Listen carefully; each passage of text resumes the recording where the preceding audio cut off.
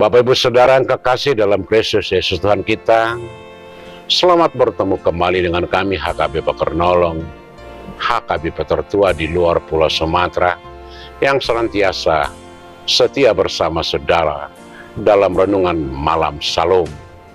Dan untuk memulai renungan ini, kita mulai dengan doa. Kita berdoa.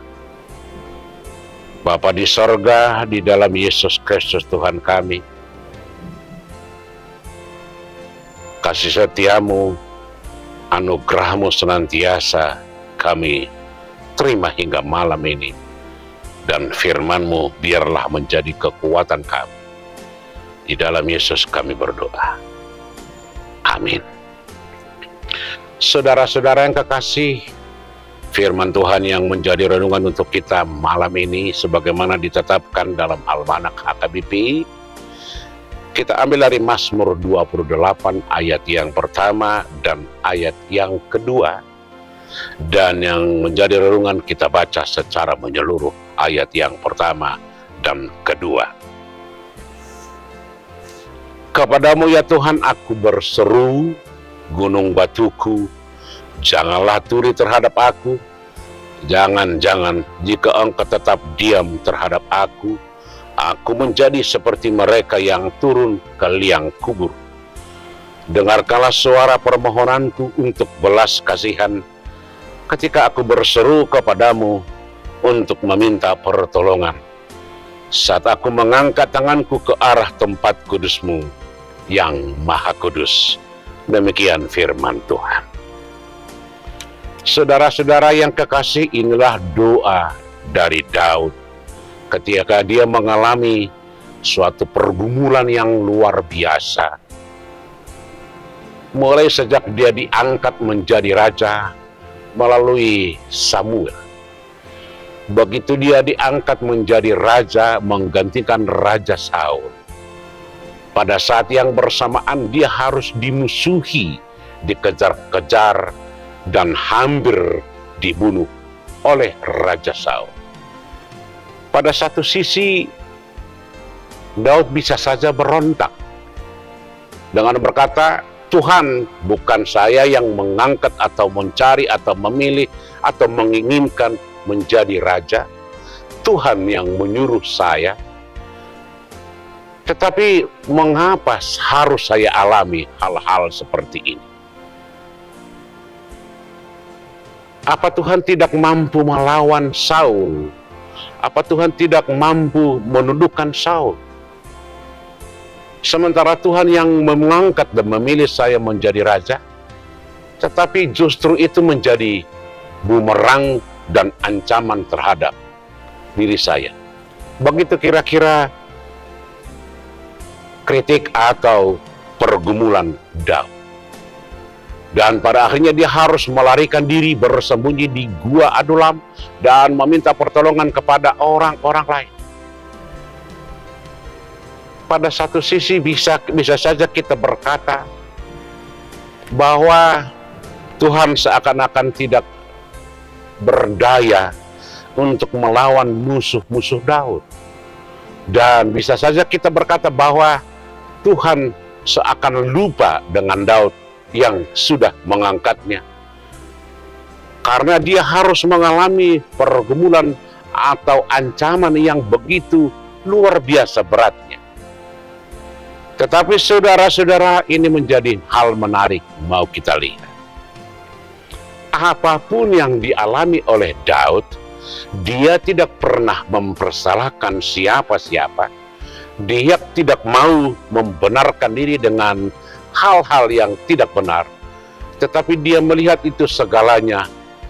Itu adalah sebuah rencana Tuhan untuk menempa, untuk membentuk, mempersiapkan dirinya menjadi orang-orang yang mampu memimpin bangsa Israel.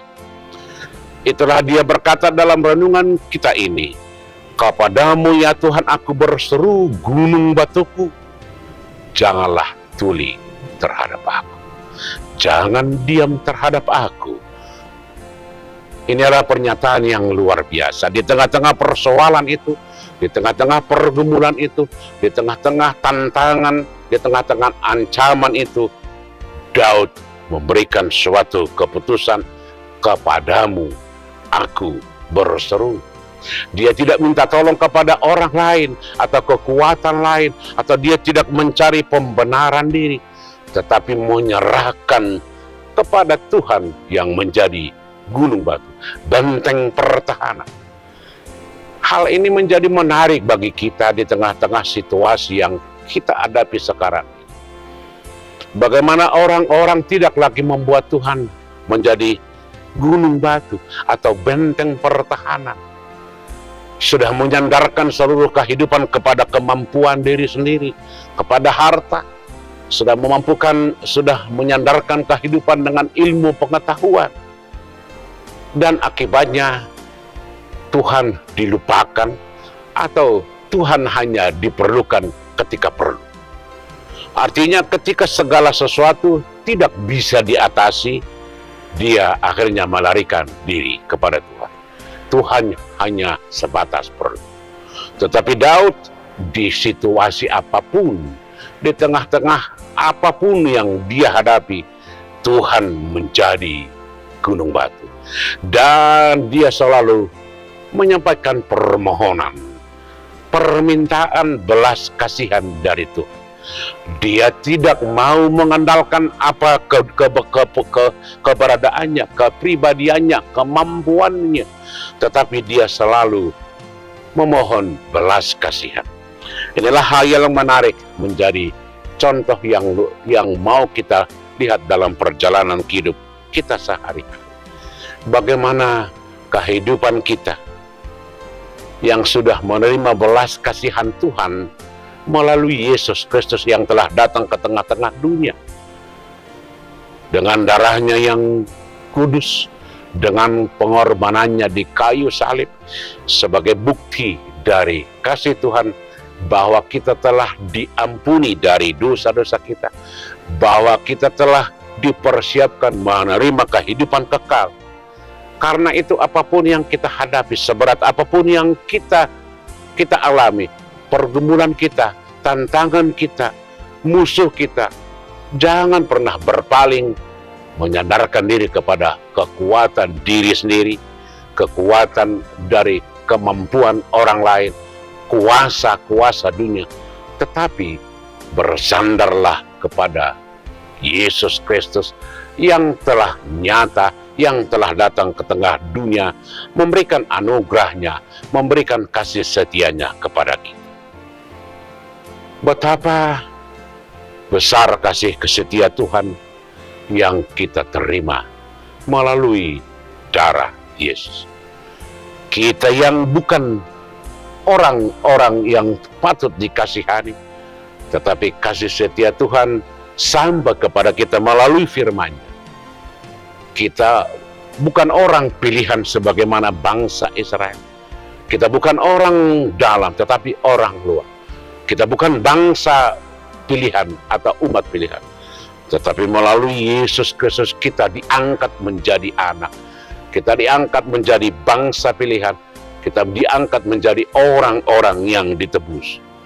Karena itu, dalam segala kehidupan, dalam apa pun yang kita hadapi, Tuhan menjadi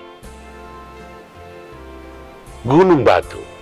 Tuhan tempat berseru, Tuhan menjadi arah permohonan dan permintaan, khususnya pertolongan. Sebab Tuhan selalu setia dengan kasih setianya. Amin. Kita berdoa. Kembali kami mengucap syukur padamu Tuhan untuk saat ini. Atas pertolonganmu dan kasih setiamu. Biarlah semuanya menjadi kekuatan bagi kami, agar kami senantiasa yakin dan percaya akan kasih-Mu. Hanya di dalam Yesus kami berdoa. Amin anugerah Tuhan kita Yesus Kristus kasih setia Allah Bapa dan persekutuan dengan Roh Kudus kiranya menyertai saudara-saudara sekalian. Amin.